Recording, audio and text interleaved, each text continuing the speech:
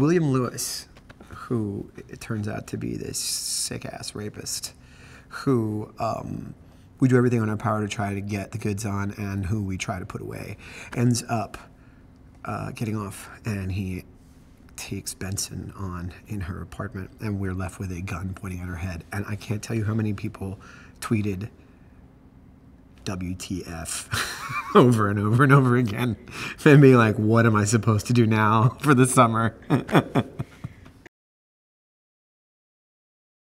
Season 15 picks up a few hours after he has taken her uh, essentially hostage in her apartment, and we don't really know uh, whether she's alive or not. We don't really know what's what's coming.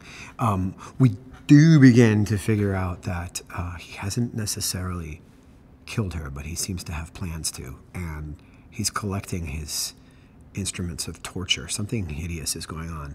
Speaking of reading, that getting the script for that first episode, I was I just couldn't believe that they were doing this to Benson. I blame the writers. um, he really seriously mangles her emotionally and physically, and uh, I don't want to give anything away, but it's uh, it's hard to read. It's hard to imagine it, and the whole crew is basically slowly beginning to realize that Benson might be in some sort of danger. Because although it's a few hours later, we don't really come back to the crew for like two days. She's a completely broken woman. This man is, uh, this man is a monster. The amazing thing about SVU is the way that things come out of real life. And uh, that episode, this episode, the finale of the last season and this particular episode are based on a real rapist who made his way eventually to New York. We're kicking it off like this, I have to say, season 15, you just want to see where, you know, sort of how it explodes and what's going to happen to Benson as a, not just a cop, but as a woman. And for me, I, you know, now I'm a member of the cast. So season 15 means that uh, who knows where Barba gets to go with all of this. One of the biggest things for me working on, on, on the show right now and working on this particular series of episodes is that you know, I think I feel responsible for what's happened to her. I couldn't put the guy away. I did everything I could. And I, I say at one point this case was a dog from the start, and now it's got fleas. Well, it, the, the repercussions are enormous.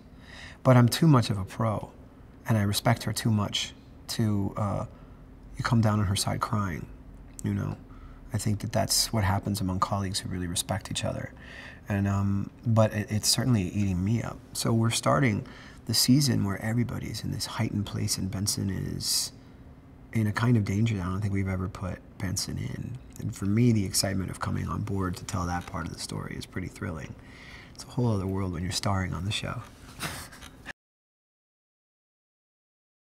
This is a completely amazing opportunity for me. You know, everything comes out of out of left field sometimes. You never know what life is going to put in front of you. I had worked with Warren Leight on a you know on a musical for Broadway that didn't go so well, though we loved the show with all our hearts. And to be invited then because he wanted to come come to SVU and want to write a little bit for you. That was supposed to be a couple of guest star spots that turned into 11 episodes. And I always say this, I mean, I couldn't have been as good as I was last season if I hadn't had this company supporting me. They allow you to play, and Mariska especially.